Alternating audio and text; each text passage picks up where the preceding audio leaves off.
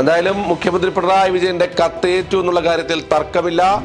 ആരിഫ് മുഹമ്മദ് ഖാൻ അമിത്ഷായ്ക്ക് മുന്നിൽ മുട്ടുമടക്കി നിൽക്കേണ്ട അവസ്ഥയാണ് ഉള്ളത്. ബി ജെ പിയെ സംബന്ധിച്ചിടത്തോളം ഗവർണർ ആരിഫ് മുഹമ്മദ് ഖാനിൽ പൂർണ തൃപ്തരാണ്. അടുത്ത അഞ്ചു വർഷം കൂടി ആരിഫ് മുഹമ്മദ് ഖാൻ ഗവർണറാകുകയാണെങ്കിൽ പലരുടെയും വാപ്പീസ് പൂട്ടിപ്പോകുമെന്നാണ് കേരള ഗവർണറും സർക്കാരും തമ്മിലുള്ള ഏറ്റുമുട്ടൽ. അത് വർഷങ്ങളായി തുടർന്നുകൊണ്ടിരിക്കുകയാണ്. ഒന്നാം പിണറായി സർക്കാരിന്റെ കാലത്തും രണ്ടാം പിണറായി സർക്കാരിന്റെ കാലത്തും ആരിഫ് മുഹമ്മദ് ഖാൻ അതായത് ജസ്റ്റിസ് പി സദാശിവത്തിന് ശേഷം ആരിഫ് മുഹമ്മദ് ഖാൻ എത്തിയതിനു ശേഷമാണ് വലിയ രീതിയിലുള്ള ഗവർണർ സർക്കാർ പോര് രൂക്ഷമാകുന്നത്. ഇതിന്റെ ഏറ്റവും അവസാനം നമ്മൾ കഴിഞ്ഞ ദിവസങ്ങളെല്ലാം തന്നെ കണ്ടതാണ്. കാലിക്കറ്റ് യൂണിവേഴ്സിറ്റിയിൽ ഉണ്ടായ സംഭവ വികാസങ്ങൾ മിഠായി തെരുവിൽ ഗവർണറുടെ റോഡ് ഷോ അതോടൊപ്പം തന്നെ തിരുവനന്തപുരത്ത് കരിങ്കുടി കാണിച്ച എസ് എഫ് ഐ പ്രവർത്തകർക്ക് മുന്നിൽ വാഹനത്തിൽ നിന്നും പുറത്തേക്കിറങ്ങി അവരെ ക്രിമിനൽസ് ബ്ലഡി ക്രിമിനൽസ് എന്ന രീതിയിൽ വിളിക്കുന്നു.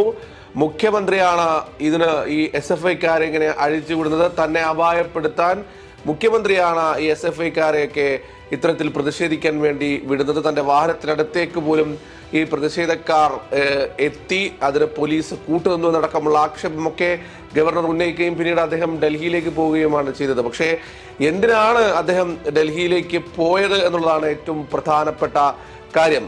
മുഖ്യമന്ത്രി പിണറായി വിജയൻ ഇക്കാര്യമൊക്കെ കാര്യമൊക്കെ ഇങ്ങനെയൊക്കെ ഇവിടെ ഗവർണർ ഇത്രത്തോളം സർക്കാരിനെ പ്രതിരോധത്തിലാക്കുന്നു.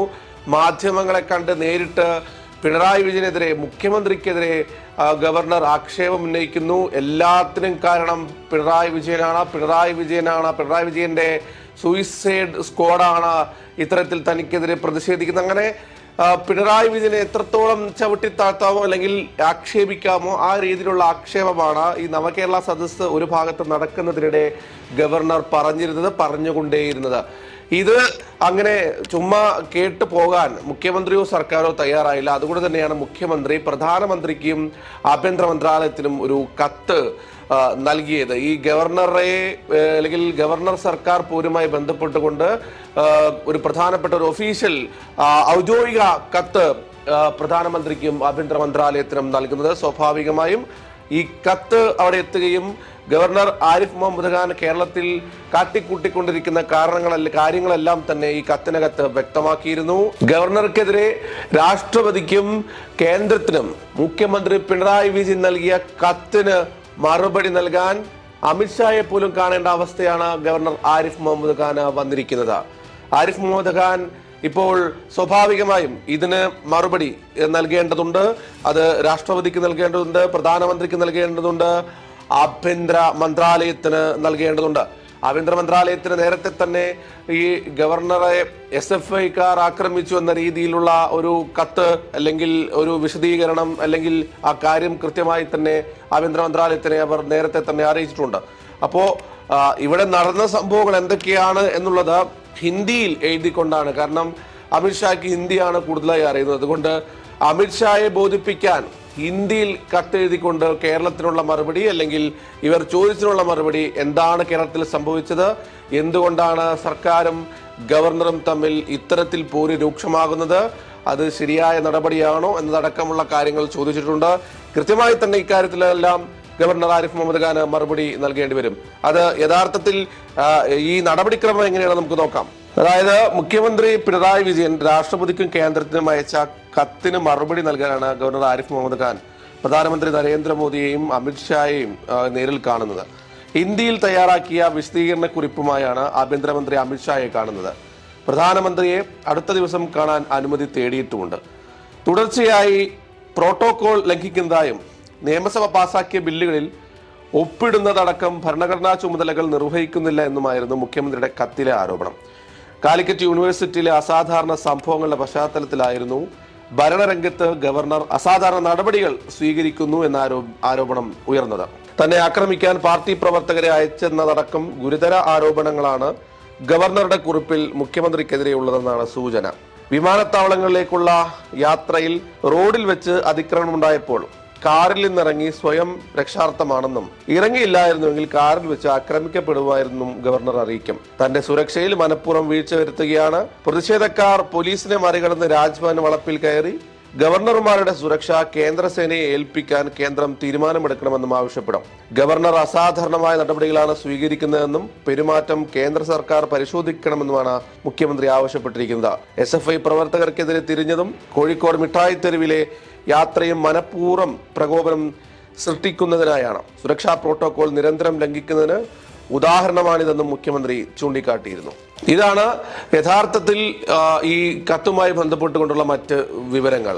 അതായത് തുടർച്ചയായി പ്രോട്ടോകോൾ ലംഘനം ഈ ബില്ലുകളിൽ നിയമസഭ പാസാക്കിയ ബില്ലുകളിൽ ഗവർണർ ഒപ്പിടാതിരിക്കുക സംസ്ഥാനത്തെ ഭരണകാര്യങ്ങളിൽ അമിതമായി ഗവർണറുടെ ഇടപെടൽ സർക്കാരിനോട് കൂടിയാലോചിക്കാതെയുള്ള ഗവർണറുടെ നടപടികൾ തുടങ്ങിയ വിവിധ കാര്യങ്ങൾ ഈ കത്തിൽ മുഖ്യമന്ത്രി പിണറായി വിജയൻ സൂചിപ്പിച്ചിട്ടുണ്ട്. അതിൽ ഏറ്റവും അവസാനം സംഭവിച്ച അതായത് ഗവർണറും എസ് എഫ് ഐയും തമ്മിലേക്കുള്ള പോരിലേക്ക് എത്തിയത് കാലിക്കറ്റ് യൂണിവേഴ്സിറ്റിയിലെ ഗസ്റ്റ് ഹൗസിൽ എസ് എഫ് ഐയെ വെല്ലുവിളിച്ചുകൊണ്ട് താമസിക്കാൻ നിൽക്കുക. സർക്കാർ ഗസ്റ്റ് ഹൗസിലായി നേരത്തെ ഉദ്ദേശിച്ചിരുന്ന പദ്ധതി അത് മാറ്റിക്കൊണ്ട് ഗവർണർ സ്വന്തം ഇഷ്ടപ്രകാരം അത് യൂണിവേഴ്സിറ്റി ക്യാമ്പസിലുള്ള ഗസ്റ്റ് ഹൗസിലേക്ക് മാറ്റുക. അത്തരത്തിൽ ഗവർണർ ഒരു സാധാരണക്കാരനെ പോലെ അല്ലെങ്കിൽ സാധാരണ ഗവർണർമാർ ചെയ്യാത്ത രീതിയിൽ ഒരു റോഡ് ഷോ ജനങ്ങളിലേക്ക് നേരിട്ടിറങ്ങി ജനങ്ങളെ കാണണം എന്ന രീതിയിലൊക്കെ ആ രീതിയിൽ മിഠായി തെരുവിൽ നടക്കാനിറങ്ങുക അത്തരം കാര്യങ്ങൾ അതായത് ഇതുവരെ ഉണ്ടായ പ്രശ്നങ്ങളെല്ലാം തന്നെ വിശദമായ ഒരു കത്തിലാണ് മുഖ്യമന്ത്രി പിണറായി വിജയൻ കേന്ദ്രത്തിനും അതോടൊപ്പം തന്നെ രാഷ്ട്രപതിക്കും ആഭ്യന്തര മന്ത്രാലയത്തിനുമൊക്കെ നൽകിയിരിക്കുന്നത്. എന്തായാലും മുഖ്യമന്ത്രി പിണറായി വിജയന്റെ കത്തേറ്റു എന്നുള്ള കാര്യത്തിൽ തർക്കമില്ല. കേന്ദ്രത്തിനും രാഷ്ട്രപതിക്കും അയച്ചിരിക്കുന്ന കത്തിന് മറുപടിയായി ആരിഫ് മുഹമ്മദ് ഖാൻ അമിത്ഷായ്ക്ക് മുന്നിൽ മുട്ടുമടക്കി നിൽക്കേണ്ട അവസ്ഥയാണ് ഉള്ളത്.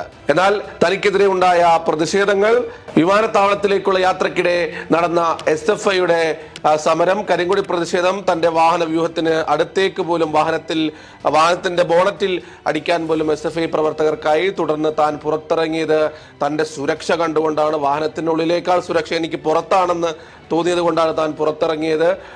അത്തരത്തിൽ ആ, ഒരു രീതിയിലാണ് ഗവർണർ ഇതിനെ നേരിടാൻ നിൽക്കുന്നത്. അല്ലെങ്കിൽ സർക്കാരിന്റെ ഭാഗത്തുണ്ടായ വീഴ്ചകൾ അല്ലെങ്കിൽ അദ്ദേഹത്തിന്റെ ആരോപണങ്ങൾ വീഴ്ചകൾ നമുക്ക് കൃത്യമായി പറയാൻ സാധിക്കില്ല. ഗവർണറുടെ മുഖം രക്ഷിക്കാൻ അല്ലെങ്കിൽ ഗവർണറെ സംബന്ധിച്ചിടത്തോളം ഇവർക്ക് മുന്നിൽ ഈ റിപ്പോർട്ടുകൾ നൽകേണ്ട സാഹചര്യമുണ്ട്. അത് അദ്ദേഹത്തിന്റെ നിലനിൽപ്പിന്റെ പ്രശ്നം കൂടിയാണ്. സ്വാഭാവികമായും ഇതിനെല്ലാം കൃത്യമായ മറുപടിയാണ് നൽകുന്നത്. അമിത്ഷായെ കണ്ടുവെന്ന റിപ്പോർട്ടുകൾ പുറത്തു വരുന്നു. അടുത്ത ദിവസം പ്രധാനമന്ത്രിയെ കാണുമെന്ന് പറയുന്നു. പ്രധാനമന്ത്രിയുടെ ക്രിസ്മസ് വിരുന്നൊക്കെ നടക്കുന്ന സാഹചര്യമുണ്ട്. അങ്ങനെയാണെങ്കിൽ അവിടെ ചെന്നതിന് ശേഷമായിരിക്കും താൻ ഇക്കാര്യം വ്യക്തമാക്കുക അല്ലെങ്കിൽ രാജ്ഭവൻ വ്യക്തമാക്കുക എന്നുള്ള വിവരങ്ങളും ഇതോടൊപ്പം തന്നെ പുറത്തു വരുന്നുണ്ട്. നമുക്ക് മറ്റ് ചില കാര്യങ്ങൾ മറക്കാതെ വയ്യ. കാരണം ബി ജെ പിയെ സംബന്ധിച്ചിടത്തോളം ഗവർണർ ആരിഫ് മുഹമ്മദ് ഖാനിൽ പൂർണ തൃപ്തരാണ്. അത് ഈ സമര വികാസങ്ങൾ നടന്നുകൊണ്ടിരിക്കുമ്പോൾ എസ് എഫ് ഐ സമരം നടക്കുമ്പോൾ കാലിക്കറ്റ് യൂണിവേഴ്സിറ്റിയിലെ സമരങ്ങളൊക്കെ നടക്കുമ്പോൾ തന്നെ കേരളത്തിലെ ബി ജെ പി ഘടകം ഇക്കാര്യം കൃത്യമായി തന്നെ അക്കമിട്ട് പറഞ്ഞു. അടുത്ത ഒരു അഞ്ചു വർഷം കൂടി ഇദ്ദേഹത്തെ ഗവർണറാക്കിയാൽ നന്നാകും. അല്ലെങ്കിൽ ഗവർണർ ആക്കണമെന്ന ആഗ്രഹമാണുള്ളത്. അങ്ങനെ അടുത്ത അഞ്ചു വർഷം കൂടി ആരിഫ് മുഹമ്മദ് ഖാൻ ഗവർണറാകുകയാണെങ്കിൽ പലരുടെയും വാപ്പീസ് പൂട്ടിപ്പോകുമെന്നാണ് ബി ജെ പിയുടെ സംസ്ഥാന അധ്യക്ഷൻ കെ സുരേന്ദ്രൻ പറഞ്ഞത്. അതുകൊണ്ട് തന്നെ ബി ജെ പിയെ സംബന്ധിച്ചിടത്തോളം അല്ലെങ്കിൽ കേരള ബി ജെ പി ഘടകത്തെ സംബന്ധിച്ചിടത്തോളം അവർ ഈ ഗവർണറിൽ തൃപ്തരാണ്. ഒരു ടേം കൂടി ഈ ആരിഫ് മുഹമ്മദ് ഖാന് ഇവിടെ നൽകണമെന്നുള്ളത് അതുകൊണ്ടായിരിക്കാം ഈ കാരണങ്ങൾ കൊണ്ടായിരിക്കാം അല്ലെങ്കിൽ അങ്ങനെ ഒരു ആഗ്രഹം ഉള്ളത് കൊണ്ടായിരിക്കാം സ്വാഭാവികമായും ഈ ഗവർണർ സ്ഥാനത്ത് തുടരാൻ വേണ്ടി അല്ലെങ്കിൽ ബി ജെ പിയുടെ നല്ല പേരെടുക്കാൻ വേണ്ടി ബി ജെ പിയെ സുഖിപ്പിക്കുന്നതിന് വേണ്ടി ഗവർണർ ഇത്തരം നടപടികളുമായി മുന്നോട്ട് കൊണ്ടുപോയിരിക്കുന്നത്. പക്ഷേ ഇതിനെല്ലാം പിണറായി വിജയൻ ഔദ്യോഗികമായി നൽകിയിരിക്കുന്ന ഈ കത്തിന് പക്ഷേ മറുപടി നൽകേണ്ടതുണ്ട്. അതിൽ എന്തായാലും ആരിഫ് മുഹമ്മദ് ഖാൻ പെട്ടുപോയി എന്നുള്ളത് തന്നെയാണ് വസ്തുത.